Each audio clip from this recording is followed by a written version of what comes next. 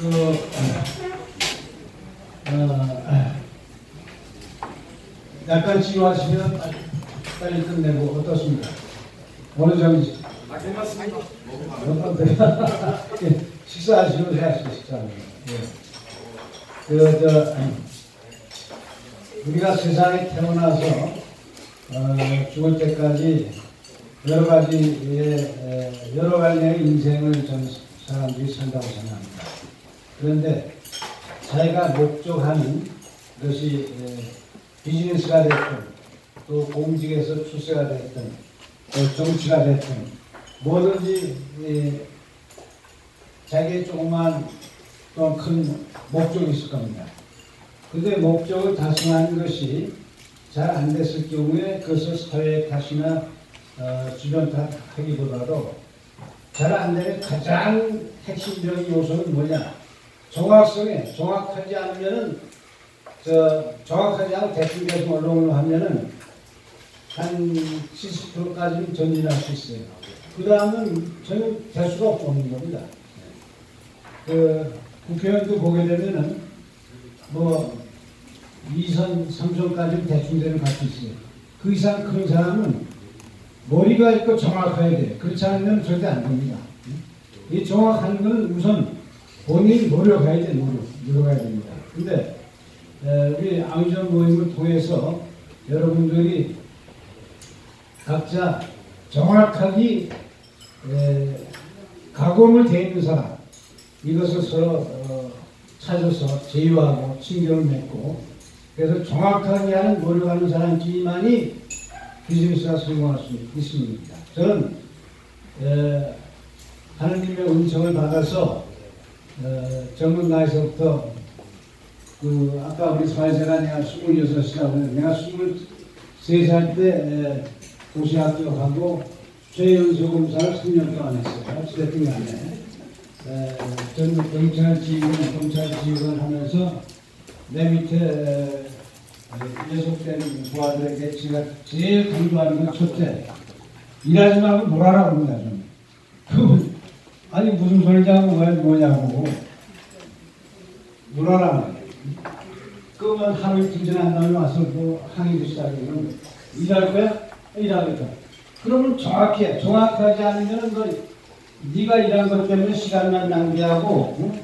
큰 실패 봅니다. 정확해. 그래서 이제 현재 국회에 들어간 그, 저 검찰 출신 변호사 중에 90%가 이 공안부 출신이에요. 내가 공안부장을 검찰에서 제일 오래 했습니다. 그래서 내가 훈련을 시킨 게 정확하단 말이에요. 그렇기 때문에 이, 그 친구들이 검찰에서도 잘 됐고 또 거기까지 진출하고 있는데 예, 우리 아미전 멤버끼리는 서로 어, 신경을 어, 나누면서 이, 예, 지금 어, 분위기는 해외 겨- 한인 회장들한테 제가 우리 아미전 멤버, 아미전 멤버 전부 우리 김준석 변호사와 같이 에, 편지를 보내고 통화도 해서 에, 해외 교포 기업인들이 우리 아미전 모임에 많이 모임하고 있고 또 어, 우리 여기 있는 멤버들뿐만 아니라 전국 각 시도에서 어, 괜찮은 기업인들을 전부 아미전 멤버에 제가 넣고 있습니다. 그래서 우리 아미전 멤버 중에 그러니까 전 세계에서 야 기업인으로서 또는 사회인으로서 정확하다. 아 그 사람은 아미전 멤버이기 때문에 그렇다 하는 평가를 제가 만들려고 합니다. 그 대한민국은 에, 우리가 국가 도약할 수 있는 여러 가지 여건을 갖고 있어요. 70년대 국가 도약되지 않았습니까? 어, 근데 거기 가장 핵심은 정확입니다. 정확.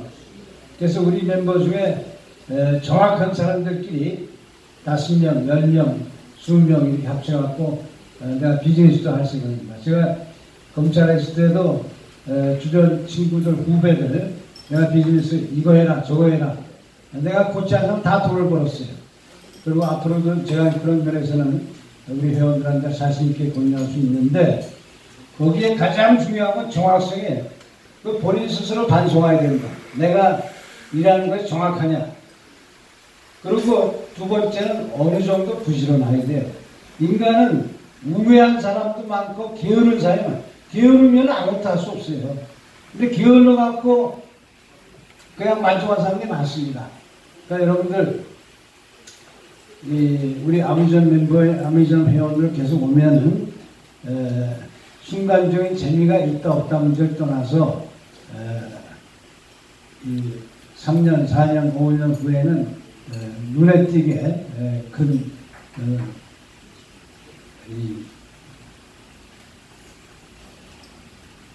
결과를 만들어낼 수 있도록 할 테니까 주변에 좋으신 분들 많이 모시고 오시고 또 우리 매, 매번 할 때마다 한두 사람 모시고 와서 어, 재밌게 합시다. 재밌게 에, 하면서 이 에, 아미전 멤버를 했더니 돈도 벌고 사회적으로 진출도 잘 되고 또 여러 가지 잘 된다 하는 평가를 만들 테니까 여러분들 같이 에, 재밌게 합시다. 그리고 아까 그 아, 지금 전 세계에는 블루오션이 농업이에요, 농업. Agriculture 농업입니다.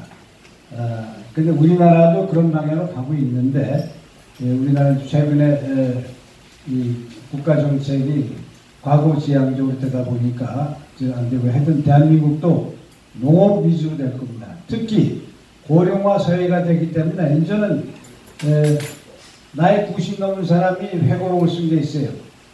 어, 나는 젊어서 어, 60에 인생 끝날 줄 알고 60 이후는 저는 인생 설계를 안 했다는 거예요.